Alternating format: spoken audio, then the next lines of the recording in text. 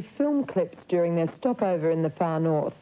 Songwriter Gary Anderson says the clips will go with recordings aimed at freeing a group of devotees currently imprisoned in the Soviet Union. The two clips accompany the song's leaders of the USSR and We're Travelling Your Way. Both songs aim at highlighting the plight of the 37 devotees imprisoned because of their religious beliefs. Songwriter Gary Anderson says the songs and the film clips will be released nationally in July.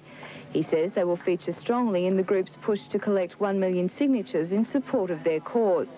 Mr Anderson says although the group have previously demonstrated against the imprisonments, he believes this time they will be successful as music is a universal language. We feel that the music will bring more attention. More and more people will know that there are Hare Krishna people in the Soviet Union who are suffering due to the uh, mistreatment of their Soviet authorities.